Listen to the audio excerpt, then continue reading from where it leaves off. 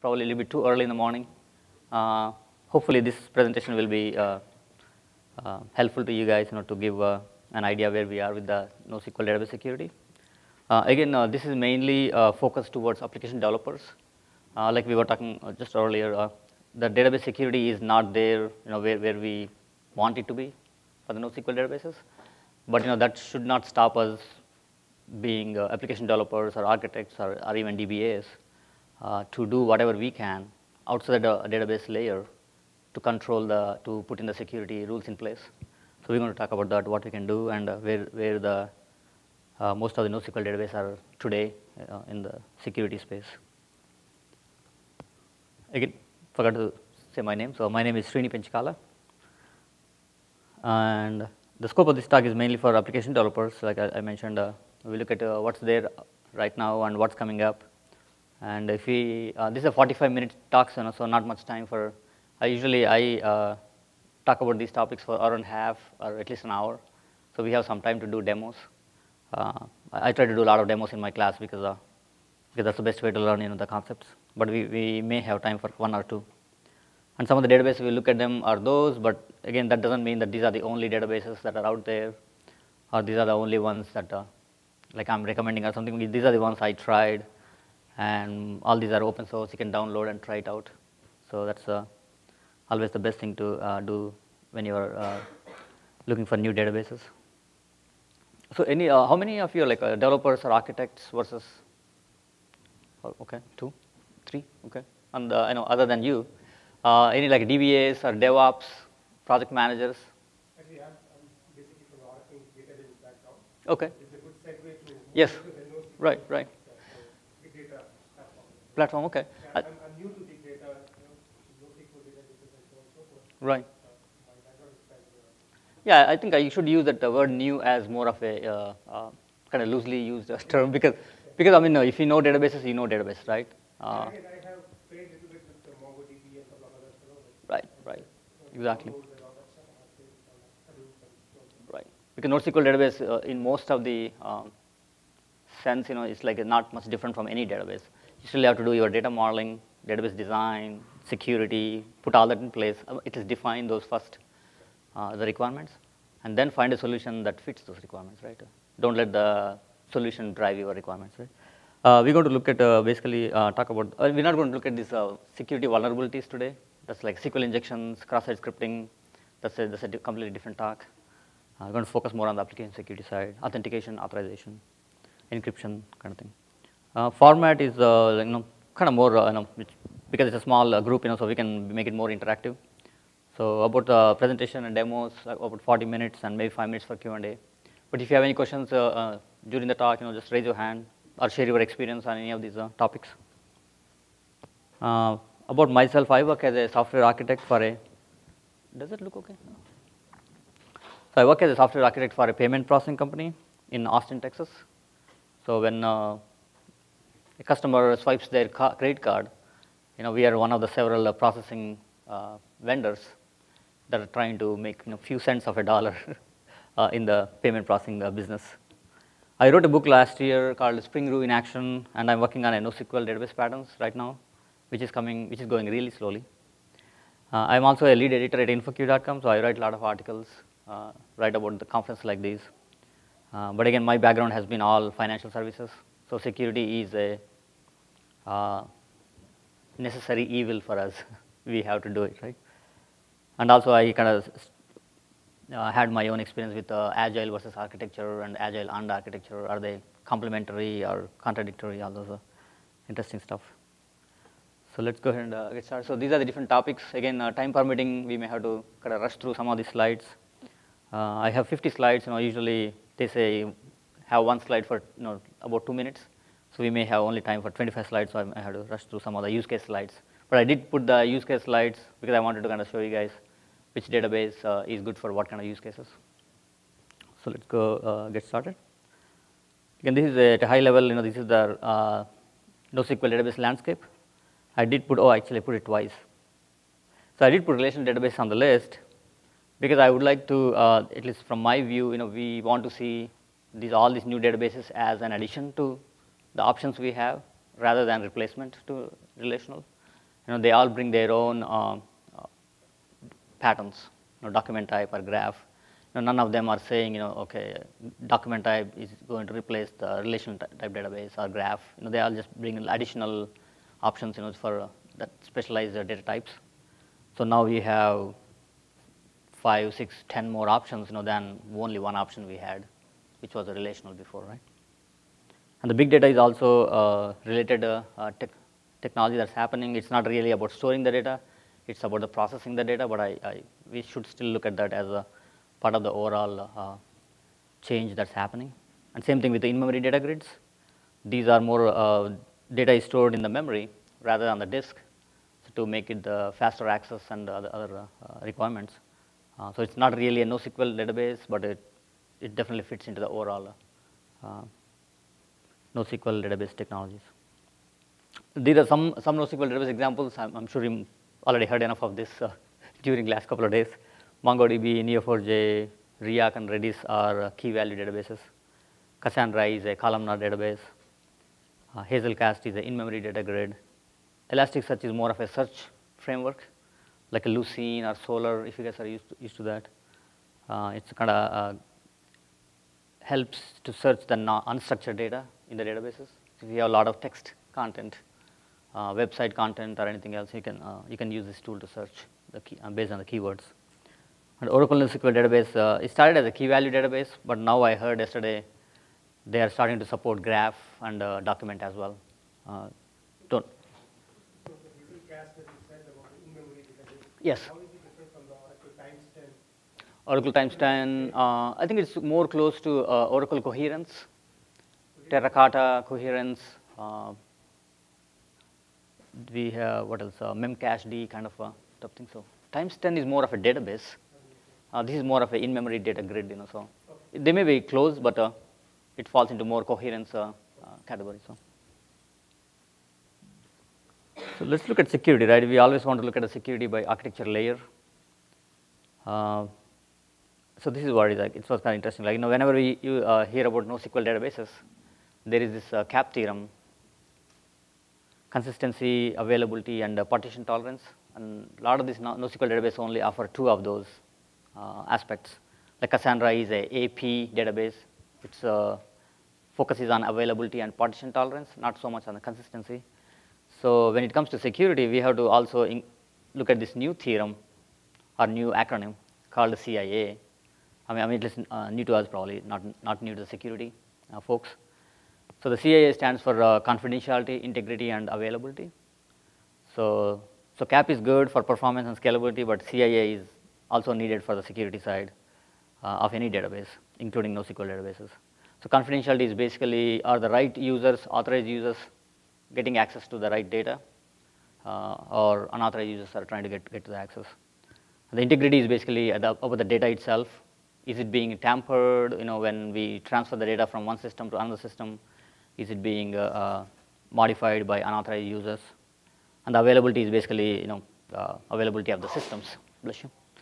Availability of the systems where you know unauthorized users are not bringing down the systems. So with NoSQL being related to other, other technologies like cloud, mobile, and social, and all the other technologies. So there's a lot of data, it's always in motion, you know, a lot of data is being moved from one system to another system. So definitely uh, confidentiality, integrity, and availability are very important, uh, even more important in NoSQL databases. Because in relational database, you store in one database, uh, you may extract it and send it to other systems uh, once in a while, but it's not as uh, constant as it is in NoSQL. It's always data is always moving from one place to another place. Uh, also, we sometimes we take data from no relational database, put it into MongoDB for analytics. So the data is uh, moving a lot, and we want to make sure that it's being done in a secure way. So some of the security concerns, some of these are probably already familiar to you. So when it comes to data security, we have to uh, concern three.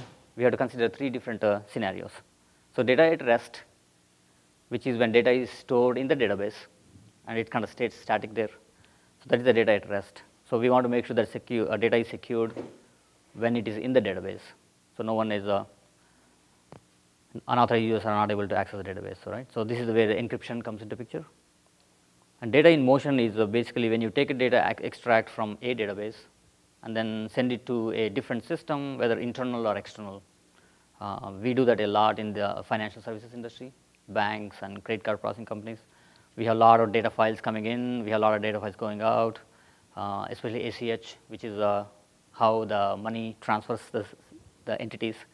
Uh, there's a lot of batch files. You know, we, we still use a lot of batch file processing, not real time uh, in, in most of the companies. So a lot of these uh, data is like you know going back and forth. So you want to make sure that it is encrypted and uh, actually in security uh, industry they also have what they call tagging. So each data type needs to be tagged. Is it uh, confidential or you know high, medium, low kind of security levels? So just like you know when you send a package, if it is if there's a dangerous material and you put a tag on that, right, like biohazard, whatever. So just like that, you know, there are these uh, uh, tags that we need to use for data sets. And data in use is basically when you are using the data uh, in the application. You go to the database, you get the data out, and you display on the screen. So the user is actually uh, viewing the data and modifying the data. So that's the data in use. And this is, this is where you have to decrypt the data so the user can, the authorized user can view the real data. And when they make any changes and when you store it again, you have to encrypt that in the database. So those are three scenarios. Uh, when you're working in security industry, you know, these are very uh, familiar terms we use. And authentication is basically, are you who you say you are, you know, right? When a user logs in, uh, there are multiple levels of authentication, either user ID password combination, or user ID password and some third parameter, you know, it's called multi, multi-factor authentication. So that's authentication, just a, just a login. And access control is uh, basically, are you allowed, you are authenticated in the system, you are logged in, but are you allowed to perform this operation? Are you allowed to view this data? You may be allowed to view some other data, but uh, not this specific data, right? So that is the users and roles and permissions uh, model. Uh, and then uh, finally, the data encryption is, uh, you know, we talked about that already. How do you encrypt data so it's not viewed by unauthorized users in the system or outside the system? Uh, for that, the key management is very important. Uh, there are some companies that offer uh, key management services, or you can create your own keys. You know, so If you create a key and seeds, you have a seed like sorts, usually where you put this? yeah, that's a good question. So uh, some products have what they call vault, V-A-U-L-T. I don't know how you pronounce. Uh, so uh, you can actually purchase those uh, products.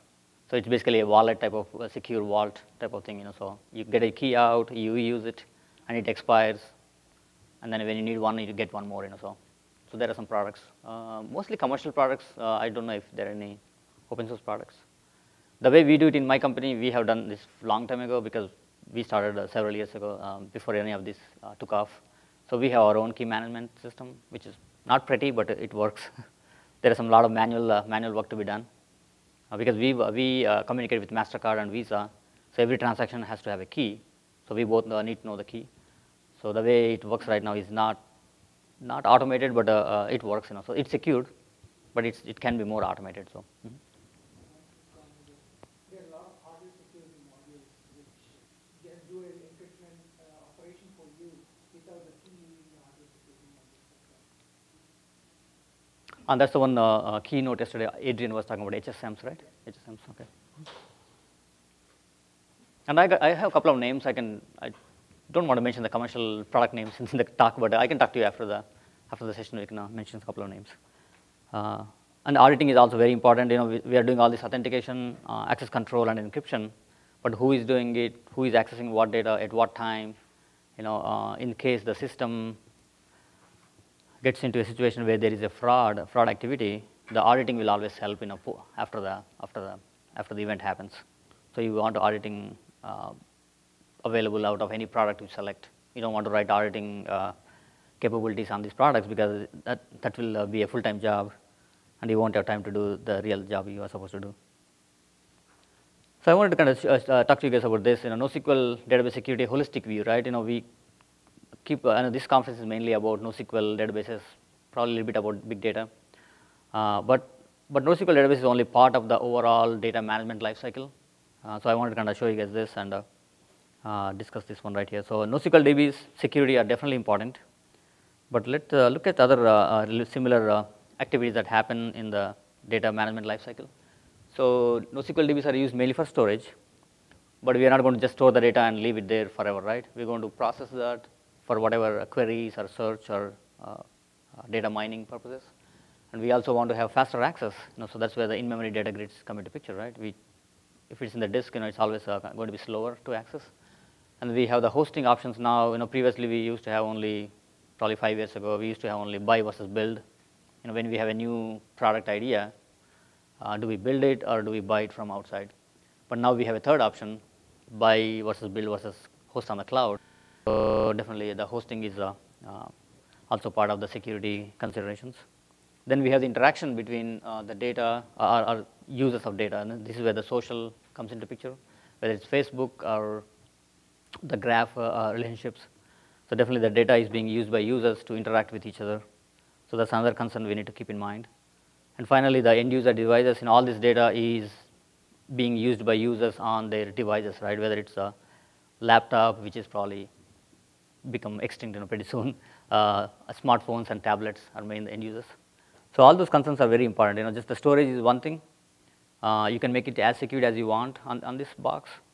But how about the other ones? You know, when the data is being used, is being processed, is being uh, hosted. You know, so so that's where all those the other uh, uh, hexagons. Uh, I, I, just put the concerns here first. You know, we always want to start with the concerns and requirements, and then look at the technologies. So this slide actually shows those corresponding technologies. So we have NoSQL DB, database on the top, and then big data, in-memory data grids, cloud, social computing, and mobile at the end. So, so when you think about so, uh, security or NoSQL security, think about all these other uh, areas as well. Because you can have as secure uh, database as you want, but if uh, whoever is using that is not, uh, it's not secure, you know, that's going to be a concern, right? So, any other comments on this slide? Uh, do you guys have anything uh, like a social or mobile security? I guess looking at that. Yeah, go ahead.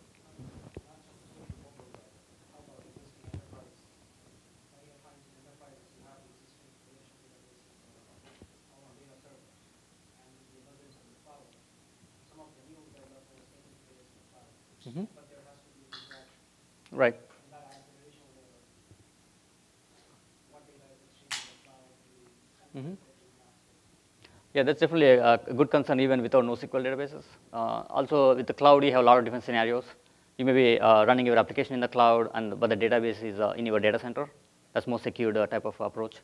Uh, but maybe you have database and application running on the cloud. So they're all different scenarios, right? So definitely, I think cloud security is a big topic. Uh, I haven't, uh, don't have a lot of experience on that because right now at my company everything is in-house. We have our own data centers, which I am not a big fan of. We definitely want to go to the cloud, you know, to be cost effective. But yeah, we can probably talk about it after, after the session. So how, how do you do it? Okay. I also want to talk to you about this uh, the term polyglot polyglot persistence. Uh, we're going to hear about this a lot. You know, that the, again going back to his question, we have relational databases they are not going anywhere, and we have a new database now. So if we were having challenges with one database, one database type in the past, now multiply that by 10 times, 20 times, and right? So uh, not only from how do we access the data, but also how do we secure the data, right? So that's where the cross persistence, cross store persistence or polyglot persistence techniques are going to help us a little bit. Now they're, they're also going to add more uh, downside as well, but uh, but on the good side, you know, you will uh, have one database, one data access layer so you just write, let's say you are a Java developer. Uh, however, you are using right now to persist, let's say you are using JPA technology, Java Persistence API, to persist into a relational database. You can use a very similar approach to persist your objects, whether they are graph of objects or document type object or key value object or columnar, whatever data type, right? Or something new in the future. Uh, you can persist them into the respective NoSQL databases using very similar API. So you don't have to learn uh, uh, document API or Mong MongoDB API or Neo4j API because they're all very different. They have their own API right now. Either you can learn 10 different uh, API, which definitely are going to change really fast. So keeping up uh, up to the, uh, up to speed with the keeping them with the up to date is always going to be difficult. So how do we do that, right? So polyglot persistence is definitely going to help us. Basically, the idea is uh, we want to store different types of data in different NoSQL databases. We want to have a common data access layer and again, security is going to be more critical because now we have multiple databases. How do you manage the security uh, on all those databases?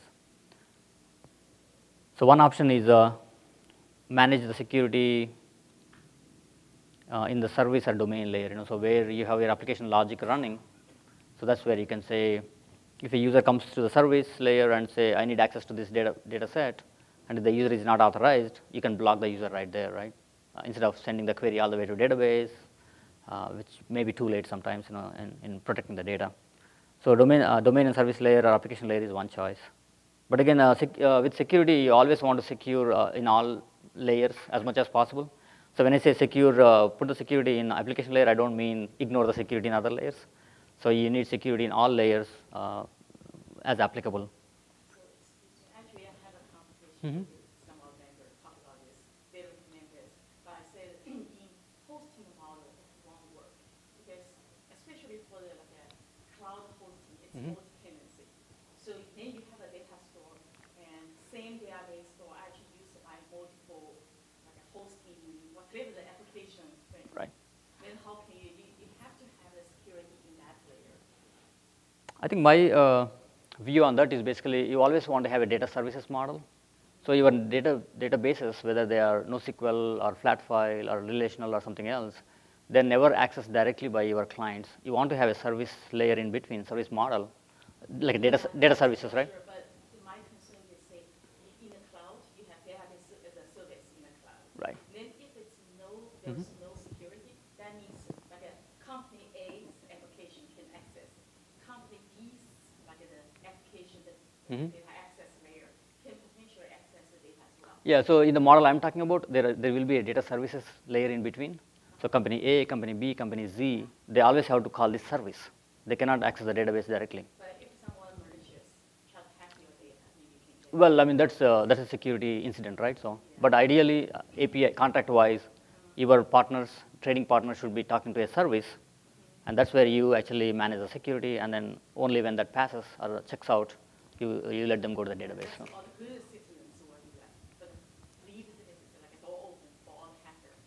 Right, right.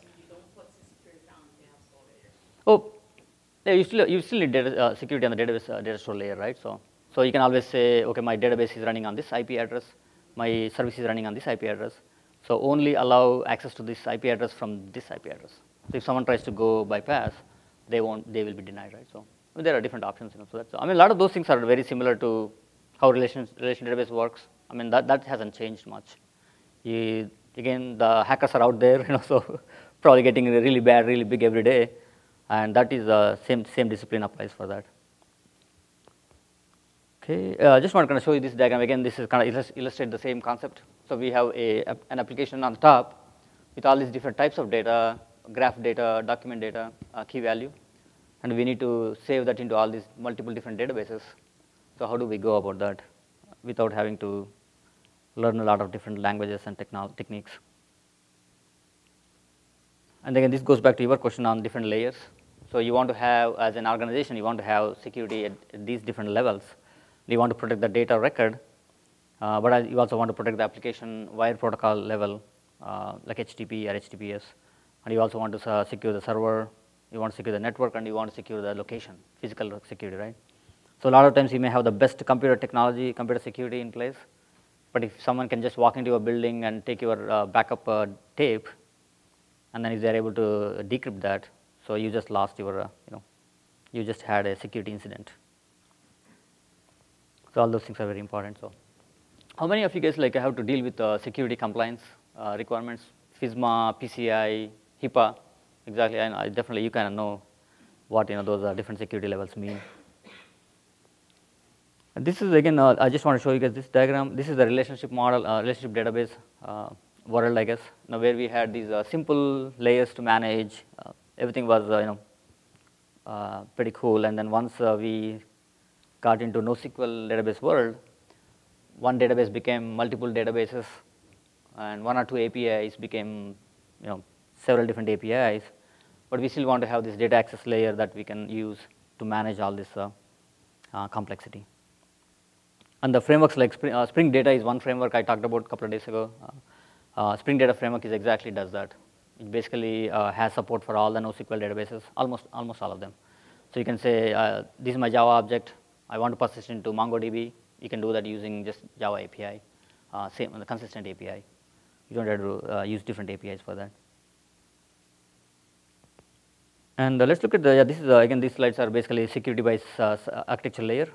So one layer you want to control security is in domain layer.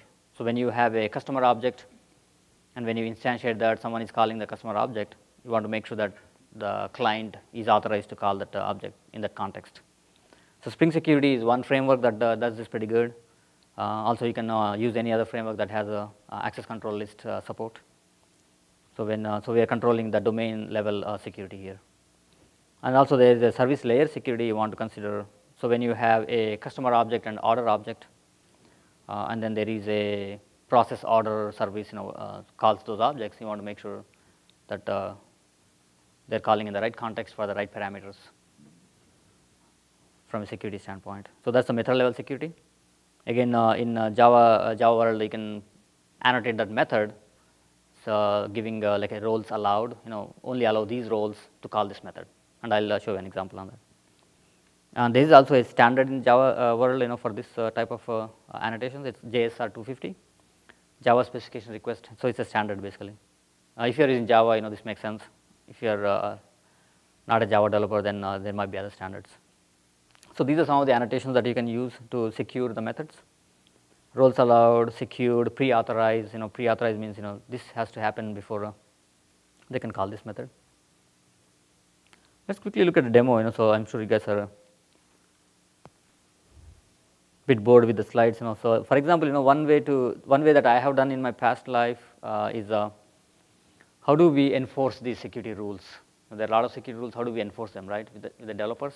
If someone writes a Java Java method without the security layer, let me see if I can. Uh, how do we uh, create a framework that will notify them that you know that's not the right way to so let's go ahead and create, you know, let's say I'm a Java developer, I'm working on this loan service. Again, this is a test class, you know, there's not much uh, logic here. But I'm going to create a new method, process loan approval with conditions.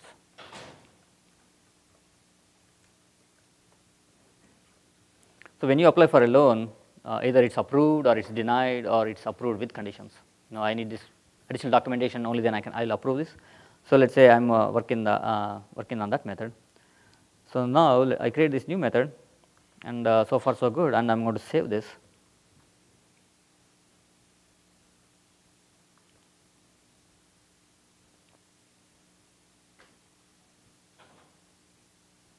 So it should have flagged me. Let's do that.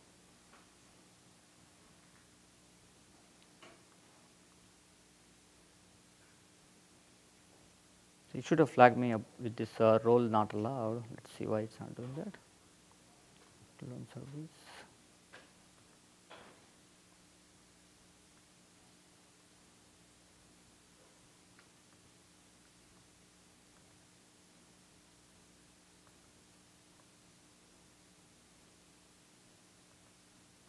Try this again real quick.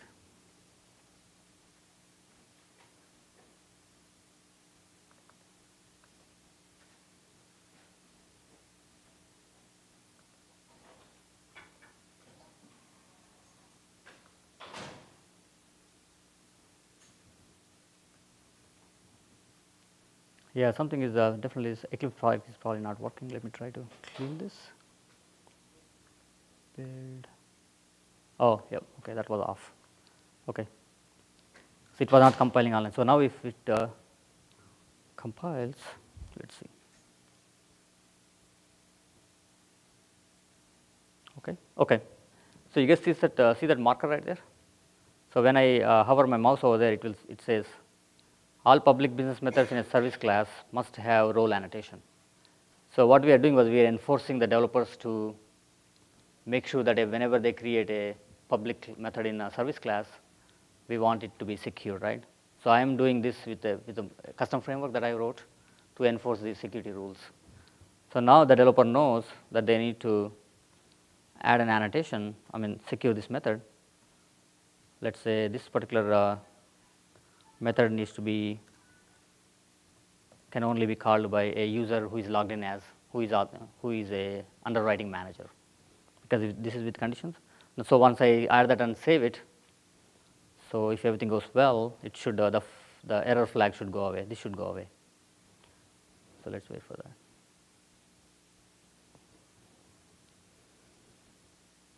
Yeah, I just have a lot of projects open here. That's why it's compiling all the projects, taking a little bit extra time. And I think uh, because the demos are taking a long time, so we're going to probably skip demos and just go to the slides next. Okay. Let's here. Okay, there it is now. So the error is gone. So you can uh, basically see how, how this works. So if I again take comment out, the error comes back. So this is one way to, I mean, again, this is uh, not directly related to NoSQL database security, but this is uh, the way you can build build security into your applications, right? Okay. So let's uh, jump to demos. You know, I mean, let's skip demos because we don't have time.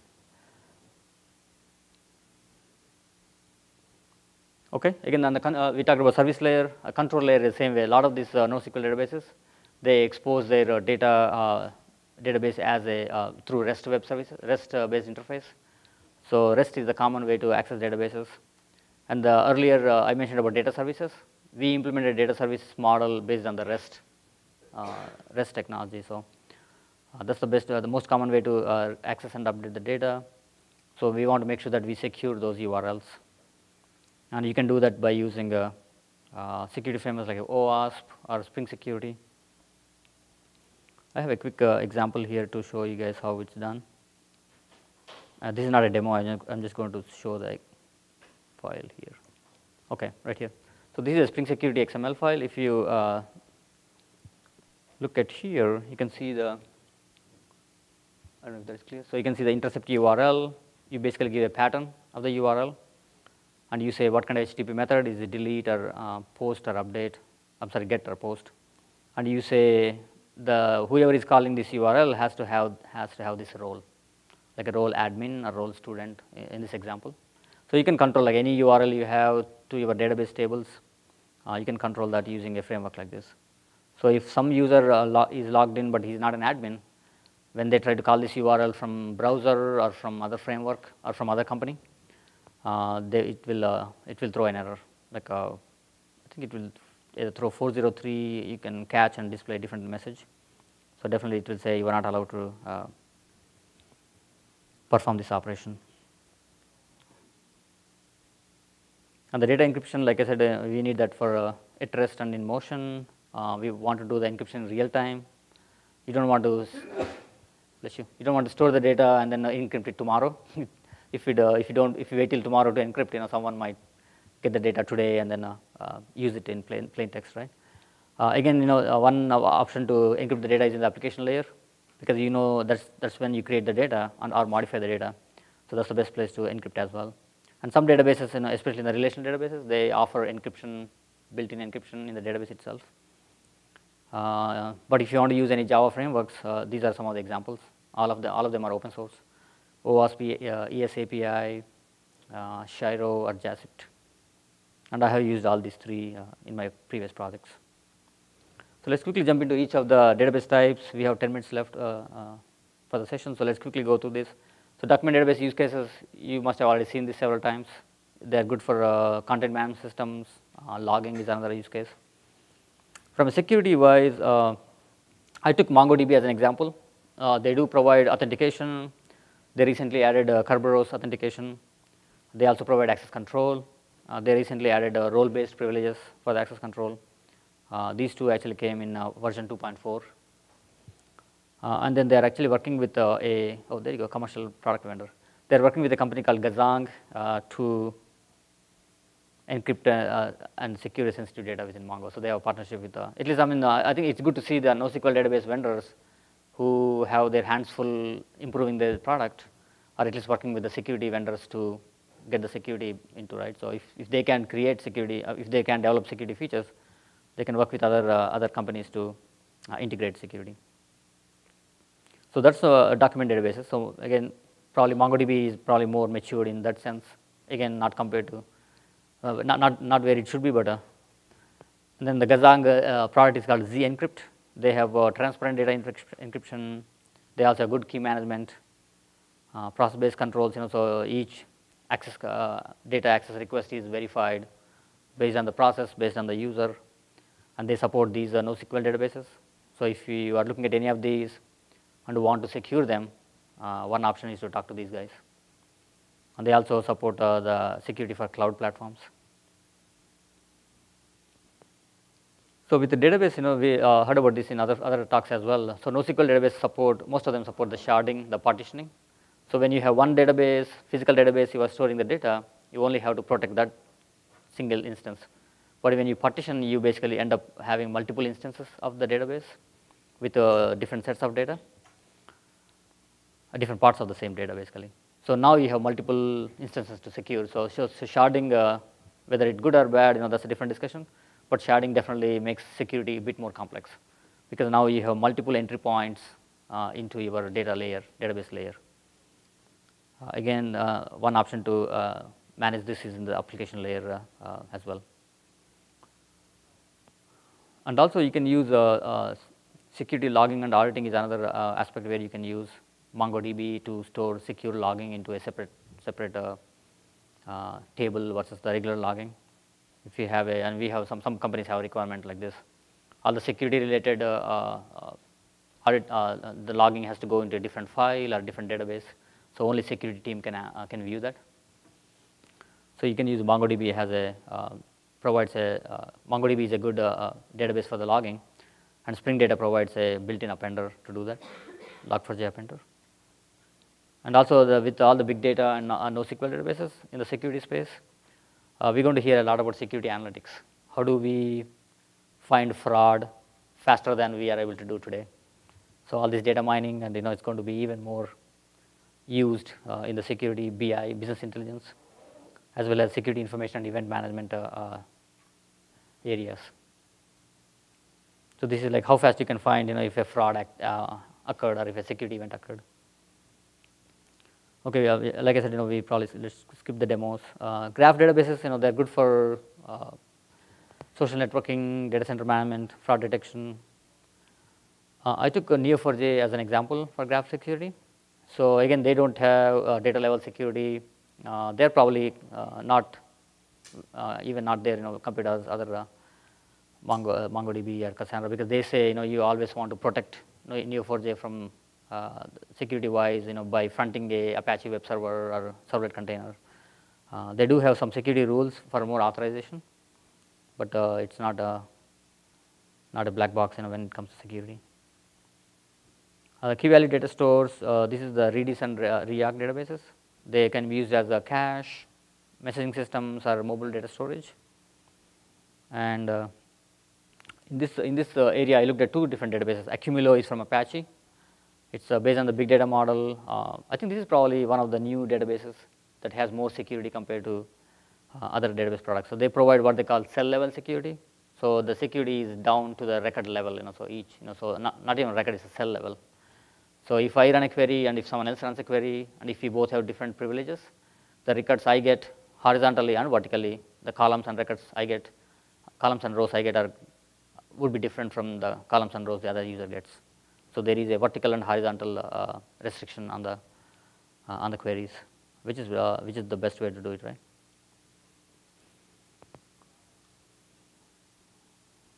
And then the basically data, yeah, this is the same thing. Data of security, different security levels can be stored in the same row.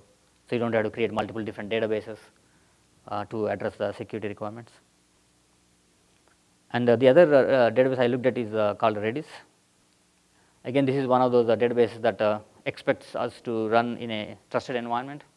So you have to have that IP restriction. So the database server can only respond to the application server, uh, no one else outside of that.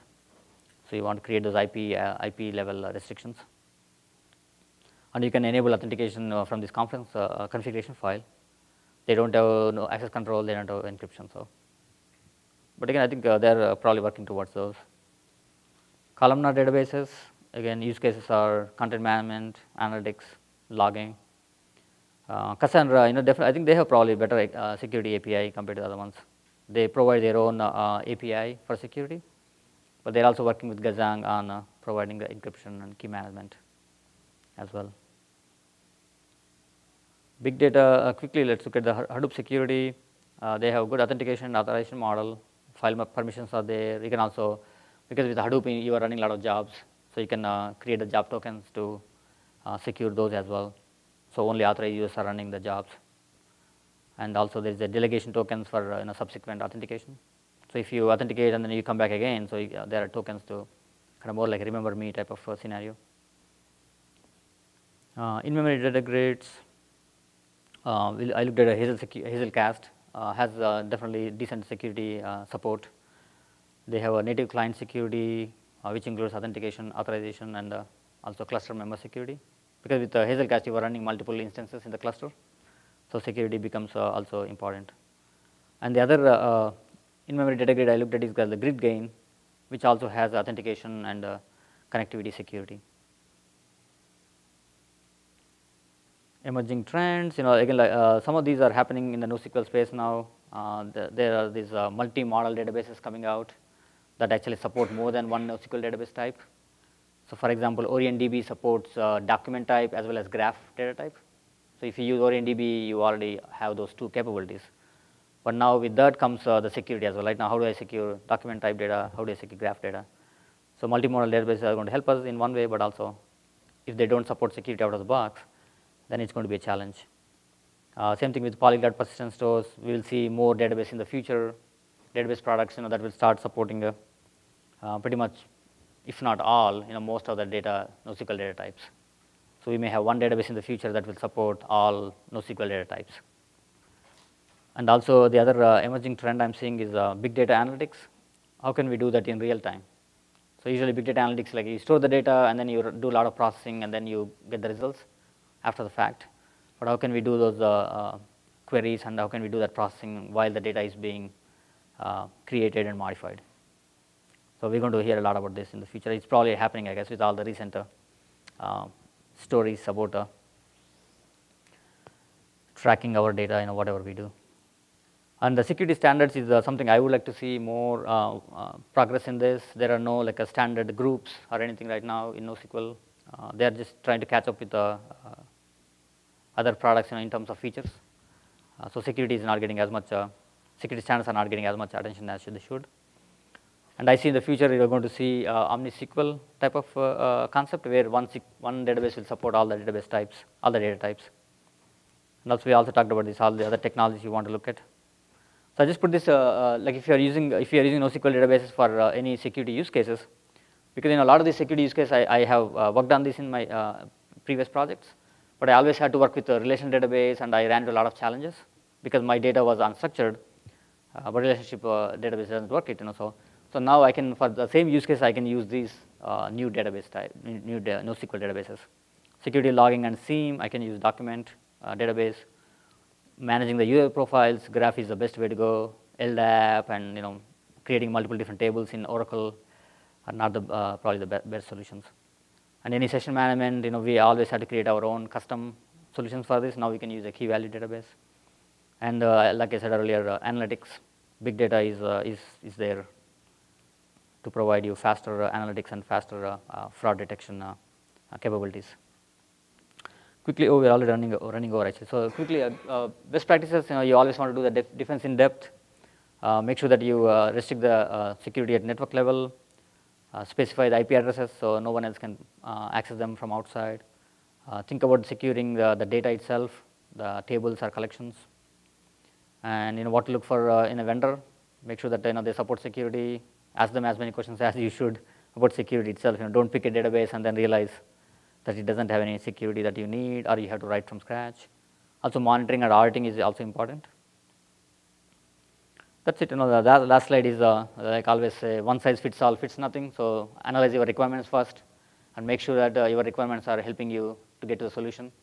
Don't pick a solution and then let the solution or the vendor change your requirements. Uh, think about the security throughout the data management lifecycle because uh, as soon as you start the data modeling, the data security should be thought about. So I always tell, uh, uh, tell my team like build security into the solution, not bolt it on later. You know, you don't want to bolt it on later because uh, it's not an afterthought. You know, it should be thought about as a, that's why what we do is like when we work on the new projects, we always document all the security requirements uh, along with business requirements, and they are they are part of the requirements uh, uh, set that need to be prioritized. You know, when the business says, know, I, why is this high priority, we explain to them why security is a high priority. And that's it, you know, uh, my contact information, uh, sorry I took few more, few more minutes, but uh, if you have any questions later, you know, just send me an email. Other than that, uh, do you have any questions right now? Any questions or comments, uh, security, where do you guys see? So are you going to post your slide? Yes, I'll uh, give it to them. I made some few changes uh, from the previous question, but uh, I will uh, give it to the um, organizers. So, cool. Thanks all for coming. Enjoy rest of the rest of the day, and uh, hopefully you will be able to use some of these databases when you go back to work. Thank you.